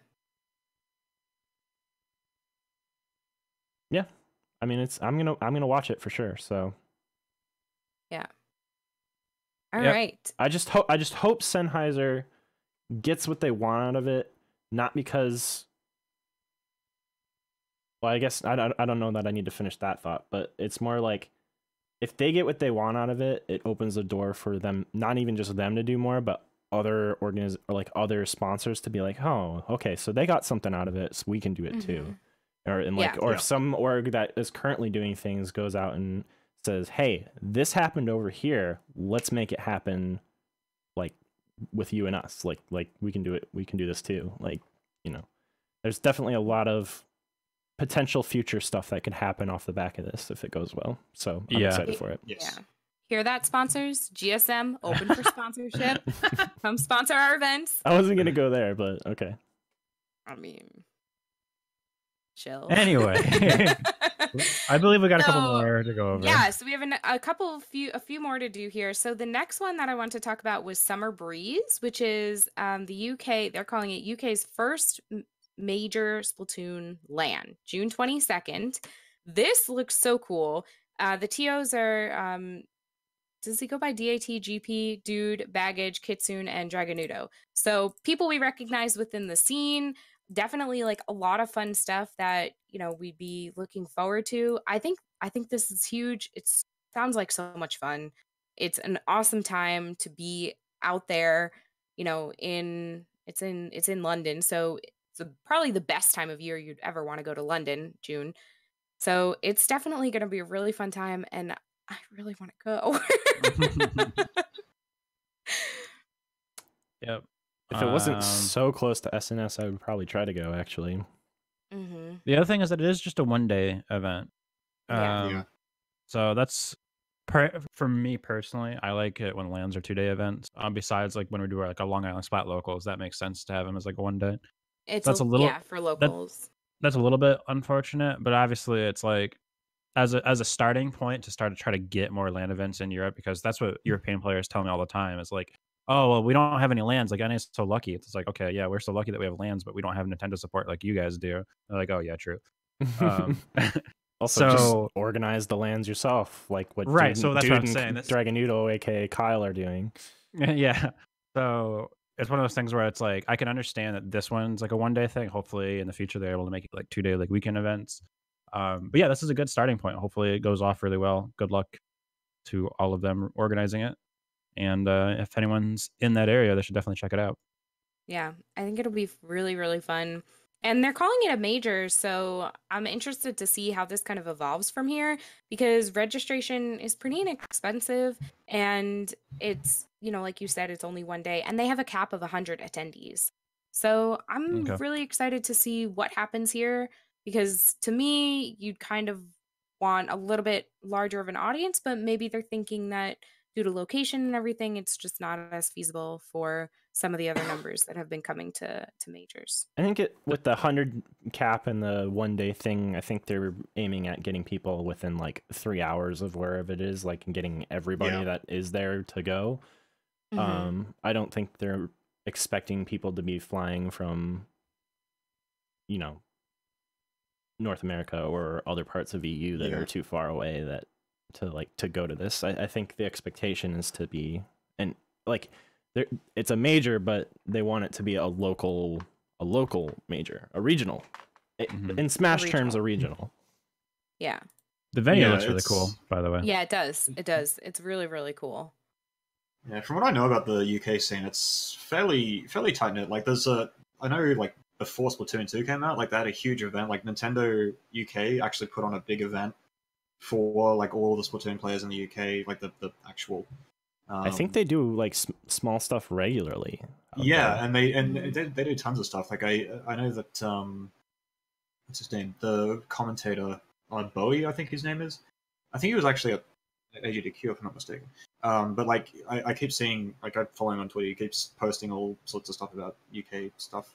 So yeah, it's uh, it's cool to um, to see that sort of finally getting a proper LAN event going that um, sort of growing, like showing that, that they've been growing a bit. Um, and yeah, like I think, like for the European LANs thing, it seems so strange to me because like I've always I've always sort of like the the the French scene has always been like the scene where like there's just a ton of random Splatoon players in Paris just sort of getting around like playing against each other at, at locals and all that sort of stuff and to hear that, that that's they're like a that special snowflake that they don't make any sense anywhere else. But yeah, so because like that's how it was in Mario Kart. Was like the French scene in Mario Kart was like huge in the sort of local stuff. Um, but anyway, I don't know.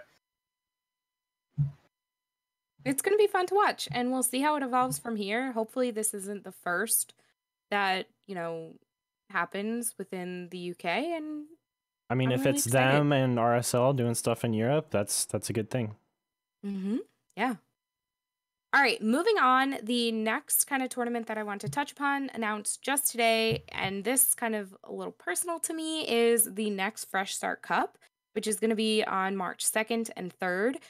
And that will be um, hosted by Gen Game. So, you know, we all we all love them, obviously. And I absolutely love this because this is something near and dear to my heart. I think that new teams need Wait, an is opportunity Gen Game or End Game? it's the it's part Fresh Start Cup is part of the Splatoon amateur circuit, which is hosted the the circuit is hosted by Endgame. Okay, The actual broadcast will be on Gen Game. gotcha. So it's a little confusing, sorry. Um but it you know, I think that it's a really nice opportunity for new teams to kind of get into the scene. And it's a really fun way for them to experience some competitive Splatoon that maybe they hadn't done so so far. So this comes right off of yesterday's uh, Squid Spawning Grounds 16, which had 47 teams registered. So that's a huge amount of teams to register for, you know, a, a an upcoming tournament. Their Squid Spawning Grounds is also part of the Splatoon amateur circuit. So considering that all of these teams have, you know, to fall under a certain level of play based on why is it leaving me right now? Um, SSQ, S- mm-hmm. SQSS, then they're kind of saying, okay, these are the teams that we're allowing to play. So it's it's pretty awesome. It's going to be a lot of fun, and you know, I'm really excited to get to cast this again. so, and the last thing that I'm going to uh, mention for us today is Beacon. That's mm. like kind Hashtag of you know go to Beacon. Go to Beacon exclamation Beacon in chat. Make sure that you guys are registering. Late registration starts March second, so we're like a week away, two weeks away right? Yeah. So we're officially extending regular registration by one week. It was originally supposed to end this Friday. We're extending it into uh, the following Friday. So you, everyone has a little bit less than two weeks to register. Uh, registration shot up to above 70 people as of over the weekend. So there's a lot of people coming up. A lot of good teams going to be there. Um, should be a really great time. It's going to be awesome. And uh, registration in general closes on March 15th. So you have a little less than a month to get those registrations in. We're going to have so much fun. Try to come for Friday. I'm planning some fun stuff. We'll figure it out. It'll be awesome. So, you know, super exciting. Anything mm-hmm. else that you guys wanted to touch upon or add for today? I got nothing personally. Kermit? No, I think I'm good. What? Any, any anything you want to uh, promote? Shoutouts? Uh, I don't think I have a whole lot of anything like that. No, I mean, I'm not even I'm not even trying to find Twitter followers, honestly. So. um, I, I, I already got your Twitter up there. It's too late. I'm sure you got yeah. I'm sure you got one or two. oh dang. Uh, I'm gonna. Oh, I'm gonna, I'm gonna actually, be... hang on, hold up, hold up. I do have to. I, I should be a good Australian and plug the Australian uh, mm. event, uh, Phantom, which is happening in oh right Sydney in March, I believe. Um, so it's probably a bit late to book international flights out here if you haven't already done that. But um, yeah, that might be expensive. That's going to be that might be a bit expensive um, and a bit short notice. But at the same time, like uh, the Australian scene has been doing really, really well in terms of LANs. Like surprisingly enough, even though our country is basically desert, um, with the occasional sort of settlement um, that we like to call cities, um, the it, it's it's been really cool because like the each capital city just has like tons and tons of people. Like and and it's not even it's not even like competitive players. Like there's tons of um, lower ranked players who just show up and have fun at LANs like all the time. And our scene is actually like has grown from LANs rather than from online stuff. Um, so like people people go to these LANs because they'll like see something on facebook or whatever and they'll come onto the um, they'll come to a LAN and then they'll be like oh hey like we can go onto this oceanic discord and and do that so that's um so yeah, like having an actual major event uh, out here in Australia is it's a shame that it's in Sydney, but um, should have been in Melbourne. Can't be, um, yeah, but, Melbourne's awesome, but you know. But um, but no, that's the, I'm, I'm, I'm joking about that. The, uh, the but yeah, so like it's it's just really cool to see that we've finally got like a proper major event happening. Um, and uh, yeah, like it, I I'm really hoping that like we can start to get some proper Australian like uh, a, proper Australian competitive scene like properly built up so that we can start sending teams out to like big events in the states. Maybe probably not in Europe because I think Europe's a bit too far. But you know, like maybe we could get some a team out to G7 or something. Um, you know, like that's that's the sort of thing that I, that I'd really like to see. Um, but yeah, so Phantom uh, Phantom 19. Oh, it's, yeah, it's just Phantom 19. Uh, this link's being spammed in the chat, so that's uh, yeah, that's my shout out. The thing you're talking about with the littler LANs is that could be a topic for next time, but that's the way to grow the scene right now. FYI, like Oh every yeah, was every region across the planet like should be having stuff like that happen. Like make casual constantly. LANs. Do it. Like make casual LANs happen. Like Beacon Gatorland. would not be a thing if Long Island Splat hadn't happened first. Like yes. Yeah, no, it, just just to oh yeah, of preface that, Gatorland. Australia's, Shout out Gatorland. Like, you guys scene- should go to that. Australia's scene has grown so so so much. Um, like the the competitive scene, uh, the, the the land scene rather in um, Brisbane, uh, in Queensland was like three people two years ago, and now it is like 50, 60 something. Yep. Um, actually, I think there's probably even more that, that show up to to these things. Like it grows super quick, and like a lot of these people who come in are like B ranks, and then like they get hooked on the competitive side of things and actually want to grind their way up and put the time in and they're really like they're really um That's how you get them motivated to like yeah. It's like that's if you want to grow a scene you get people who are not in your scene to come and join your scene. It's you know it, that's that's sort of what and and that's what australia's been doing now we've got like hundreds and hundreds of, of players since splatoon 2 launched so it's just absolutely amazing um, Long yeah. Island Splat 2 was the reason I signed up for it, and then it was that following weekend that I reached out to Black about commentating. So Yep. I would say that LI Splat is the reason I'm a commentator. And before LI Splat, like the first thing we did was like a social at Aeon. It was like it was like ten people that m- went to that, and we heard about it, and we were like, "Oh, cool!" And then we got involved and made Long Island Splat. So it's like, Yep. this is how it happens, guys. It's how it grows. Like, Yeah. m- make your like every region should have this. Like, there should be one in the in mid- Midwest, like Florida, like you know, th- these things should be happening more. And if if you don't have one in your area, start it. That's that's Yeah, my and that- that- recommendation. wise words of the day for you guys. DJ, what you just mentioned, the thing about like there was an event that had like ten people, and then you guys heard about it afterwards.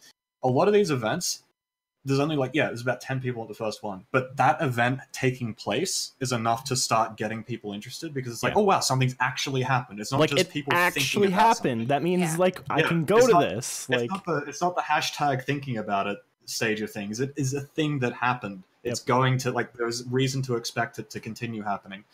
Um so yeah, like if you like host an event in the middle of what seems like nowhere and like you get eight people or whatever and you're like, "Oh, my I might not want to do that again." Just like keep doing it and people will start taking note. As long as, long as Mhm. you're like spreading spreading the word all that sort of stuff, people will see it and will be will be interested. Yeah. So yeah, Awesome. I gotta. I, I'll have to do this because if we don't, someone, some people will be upset. Can you can you talk about your thoughts about certain weapons in the current Current meta. FLC? uh, You- sure, and I like ma- make it make it sweet. Make it like like you know five sentences. I don't know if you can do Uh, that. I know I- that's just why yeah, I'm that, that saying. is that is that is that is optimistic. What do you think about Uh, Kensa Pro specifically? Is that a just a Japan meme or is it real? Uh, it's a bit weird. I think quick respawn, like people aren't using quick respawn properly anymore, which is kind of allowing those main power builds to like be strong again. Because like weakness of main power, same as Splat One damage up builds, was that you didn't have any quick respawn, so it meant like if you died once, um, you could really easily snowball into losing, even if it felt like you had an advantage in the neutral side of things and stuff like Kensa Pro, Bamboo, all that sort of stuff should die off as soon as people remember the quick respawn tetras and whatnot are just obscenely overpowered. So yeah, And that's my state. That's my One other thing, Uh, I I heard I heard of this from from Day, who's who lives in Japan now, is that apparently uh, neo splooshes are becoming a thing in Japan matchmaking. sploosh. neo sploosh specifically. Neo sploosh. Yes, not not splash, neo sploosh. What's that one? Beacon missiles. I think it's beacon missiles. Yeah, Uh, that's very odd. Why? I don't know. That's that, that's that's what Day said. He said he's been seeing a ton of them lately. Um, I think people might be just doing it for a meme because that Japan is surprisingly. no, no, I'm serious because Japan does meme shit all the time. So Okay, yeah, it's that's probably just a meme. you hear that, people that are watching Japanese streams? It's just a meme. Don't copy it. Yeah, if you Don't start playing tournaments someone, with someone that. mentioned Sorry. someone mentioned Kayatasu in chat. Yeah, if if Kayatasu was playing um that weapon I don't know what the hell build he was using. Kayatosu comes up with all sorts of weird things. He used, he I watched his stream once when he got to 2700 on splat zones by picking Kensa Luna and doing nothing but throwing fizzy bombs at the zone the entire time. so and he's, I think he's also the I, he's also the guy who like gave us the double um and no, not double uh, double dapples on Shellendorf. He's also the guy who gave us the Tenta Brella in general. So like it's sort of he just does all this sort of weird stuff that some of it works, some of it spectacularly fails. Um, Some of it works yeah, no, once.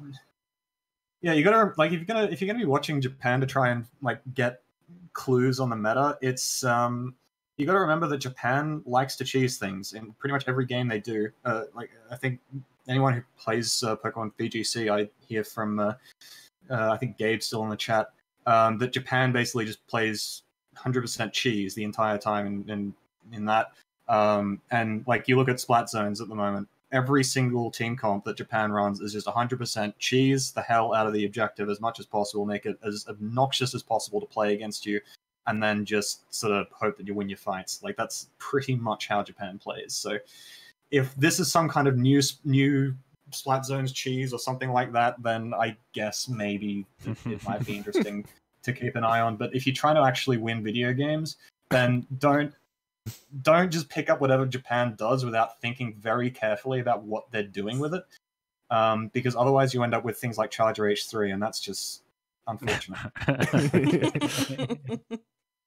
Thank you. I That's appreciate one chat. That's one.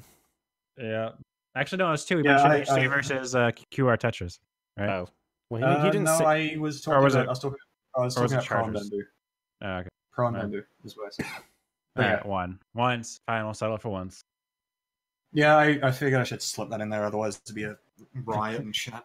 yeah, no, no, everybody will just like constantly bombard our comments. Like, I can't believe it didn't talk about it. HDD? HDD? I can't believe, like, like the funny thing, I don't, I literally, and the reason I keep bringing it up is because I like playing against H3s. It's fun. I just shoot them. yeah, you just like, move it's the and easiest then, thing. It's just, it die. just Yeah. feels so comfortable. Like it's the most comfy game of Splatoon ever when there's an H3 on the other team. Now we're So, at yeah. twice. Yeah, there you go.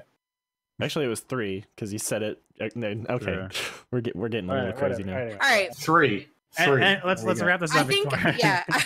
My shout I out think is that- this is happening officially every other week at 5 p.m. on Sundays.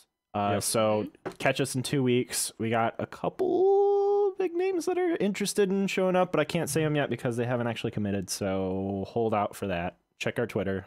You'll find out soon. hmm For sure. Raji, you want to shout anything out?